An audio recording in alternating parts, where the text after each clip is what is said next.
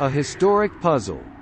When I first had the pleasure of seeing my grandfather, Pearl Roscoe's, rare color slides of the Vermilion area, I happened across a few that I found rather puzzling. They depicted what obviously looked like terrific storm damage in a cemetery. Because the slides were not marked, I had no idea as to their specific location other than what I have just written. And then I came across an 8x10 black and white glossy Rudy Mack photograph that made my grandfather's slides identifiable. The night before, a tornado had come out of the southwest. It cut across the Risdon farm on Risdon Road, headed northeast toward the lake where it destroyed the Sherrod home just east of Coen Road, and then bounced across West Lake Road to the home of Charlie and Katie Kropp at stop 130.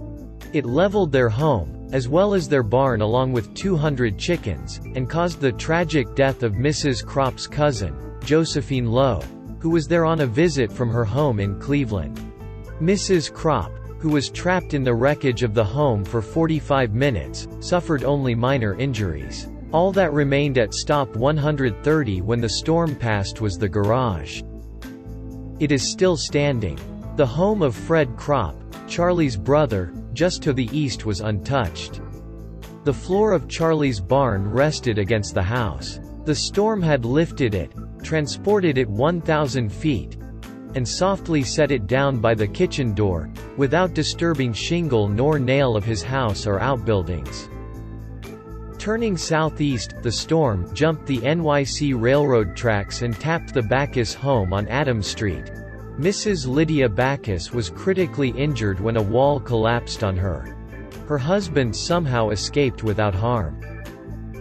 At least five additional homesteads were swatted by the mid-August storm. On State Street the H. Rossman home was twisted off its foundation.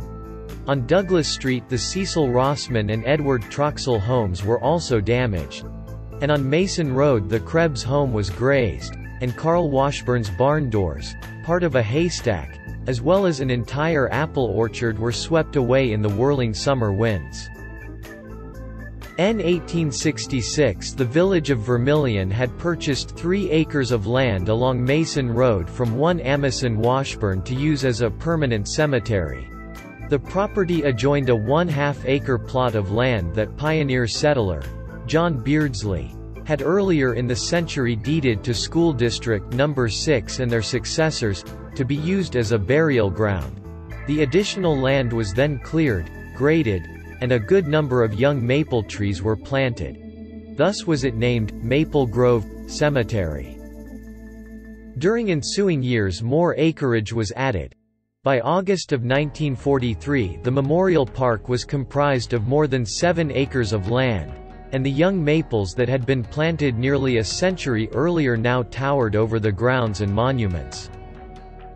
And as these terrible storms have no respect for life, human or otherwise, they also have no mercy for the dead. On August 13, 1943, the same storm that had stolen the life of Josephine Lowe, arbitrarily dismantled many of the monuments in Maple Grove, as well as uprooting and splintering almost all the old maples that once stood guard over them. The accompanying Rudy Mack photograph shows the damage done to the cemetery on that day. The other shows the area as it looks today. Were it not for my discovery of the mock photo I would not have known any of this ever happened and I would have been puzzling over my grandfather's color slides for the remainder of my life.